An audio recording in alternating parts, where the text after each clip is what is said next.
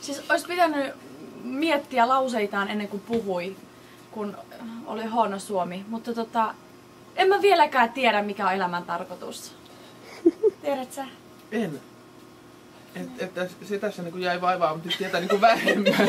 Mä tiesin enemmän kuin mentiin tuonne, mutta Epäilys vaan. Mä tiedän, etten tiedä. Joo. Niin.